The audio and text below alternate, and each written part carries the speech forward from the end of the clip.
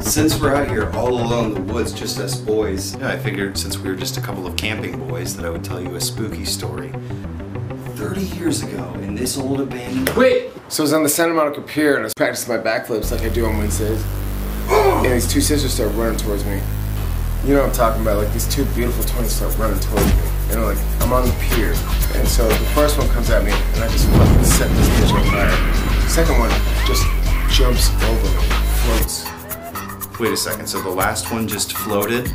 The one that floated over me, I swear to God, I seen her down Cheadle's house. Listen, I just figured since we are both out here as camping boys, that I would tell you a spooky story.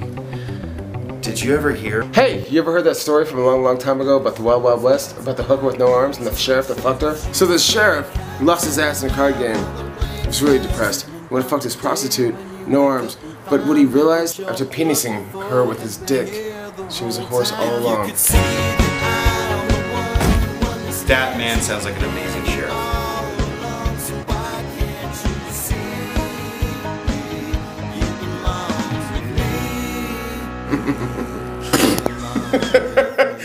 So you remember I was driving truck at that at that point, and I went to the adult superstore in Temecula. So I walked up to the counter and I said, "I'd like to rent a copy of Big Wet Asses." She says, "No, we do not have a copy of Big Wet Asses." You are so lying. Okay, you're right. You caught me in a lie. God, you're a fucking liar. I made it up. Fuck you, you're a liar. There's no such thing as wet asses. Skylar, you're a fucking liar. I'm just trying to impress you.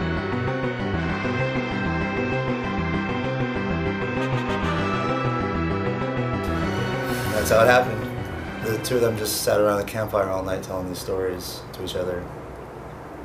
Jesus, Michael Stephanie. You tell the worst stories.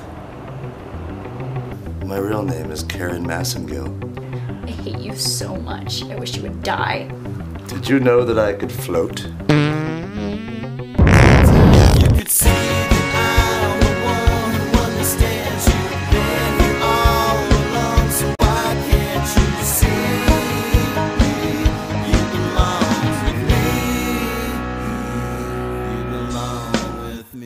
Fuck.